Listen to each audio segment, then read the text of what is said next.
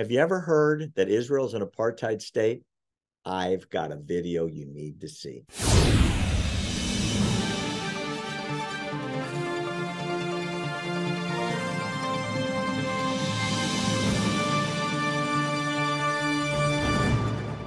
I want you to see a video that I've watched a few times, and I think it's really important that our viewers see this as well. Um, all around the world, there's these chants in the streets death to Israel, death to Israelis, mm-hmm. some places, death to the Jews. And a lot of people use this justification that Israel is an apartheid state. And they're talking about South Africa, which was an apartheid country, where whites had this status and and blacks had this status and mixed race people had this status and there are all these classes of religion sorry of race but there wasn't equality the only equality was if you were white and everyone else was screwed and it was a terrible system and rightly so the government was overthrown and they now have a new government the difference in israel is well, let me play the video and you're going to see what I'm talking about. I speak up because I'm an Israeli Arab who grew up in Israel. I grew up uh, to an Arab Bedouin family.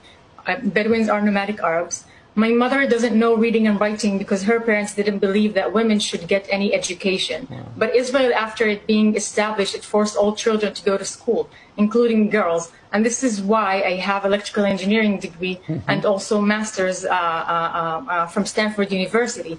I grew up in Israel as an equal citizen.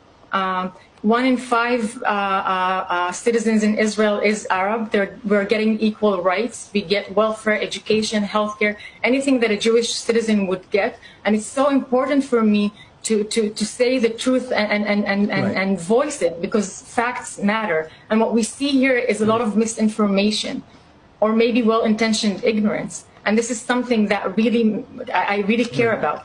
And as I said, seeing what extreme Islam looks like and the calls for violence, I know that these could lead to tragic events, to tragic actions. Wow. Muslim woman with a master's degree, right? In engineering. So she's like a total, you know, smarty pants. Her mother can't read because under Islam, you don't educate women. And then they lived in Israel and the government requires women to be educated requires it. You have to go to school. You have to get a degree. You have to be educated. You have to have equality okay but they're the bad ones though barry. How dare you? 100% and yet and yet in israel there are muslims on the supreme court. There's muslim judges. There's muslims in the army. My kids know them personally. That's wow. They're fully integrated into the society, and 20% of the of the country is Arab with full equality. Social services, medical care, uh, dental care, um, retirement care, and so on. Everything that other Israelis get, they have it. There's no difference.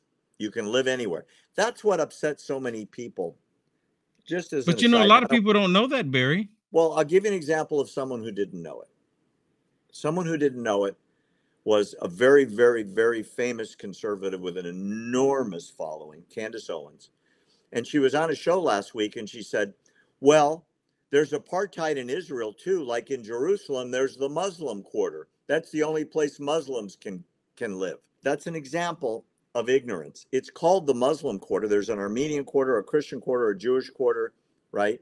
And a Christian quarter. They all have areas that are just called that, but you can live wherever you want. There's no restrictions, there's no ghetto.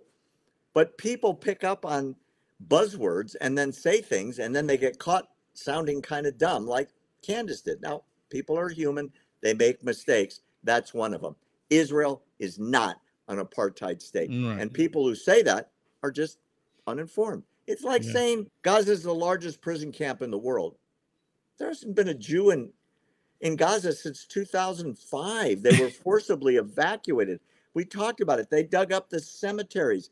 They closed the schools. They closed the factories. Every Jew is gone. But yeah, but that's why they say it's a they say it's an open air prison right. camp for right. for for Palestinians, which is the most idiotic, stupid statement ever made by someone who has a half a brain cell. If that's the case, Barry, that this that Gaza Strip is an open concentration camp, how come they can sneak rockets in but they can't sneak people out?